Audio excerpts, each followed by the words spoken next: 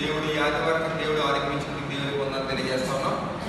మా షారుఖ్ అయితే మన ఉపవాస దినాల్లో పాల్గొనకి వెళ్ళి మంచులో తిరిగిన మూడు రోజులు. చాలా నేర్చు చేసి స్వస్థించిన దేవుడు అలాగే వింటుబాబు కూడా బలహీనంగా ఉన్నాడు. ఇంకా స్వస్థించేటట్టు దేవుని ప్రార్థన చేయండి. మీరందరూ పాపం గురించి ప్రార్థన చేయండి. దేవుని వాక్యం వెళ్ళిపోదాం చిన్న ఉపమానం ఒక చోట సన్షైన్ గారు లాంటి కౌన్సిలింగ్ కౌన్సిలింగ్ చేసే ఒక వ్యక్తి ఉన్నారన్నమాట ఆయన దగ్గరికి కౌన్సిలింగ్ కోసం ఒక ఆయన వచ్చాడు. నేను సంక్షేమంగా చూడలేదు. మనసులో ఇది ఉప్మా ఏం చెప్దామని ఆలోచిస్తాను నాకు ఈ ఆలోచన వచ్చింది. ఇలా పళ్ళు తెరిచి చూసినట్టు సన్షైన్ గారు ఉంటారు. ఆయన ఉన్నారని చెప్పి నేను ఈ ఉపమానం తీసుకోలేదు కానీ నా దేవుడు నా హృదయంలో ఆ ఉపమానం ఉంచాడు.